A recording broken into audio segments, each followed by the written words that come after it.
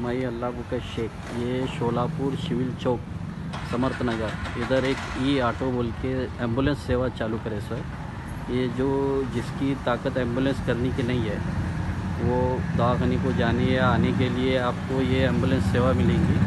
आपको एक phone number पर फ़ोन करने के बाद आपको ये ई रिक्शा एंबुलेंस आप तक आ जाएँगे। आपको अगर उधर से जाना और आना है दवाखाने के लिए, आपको ये पूरा एंबुलेंस सुविधा मिल जाएँगी।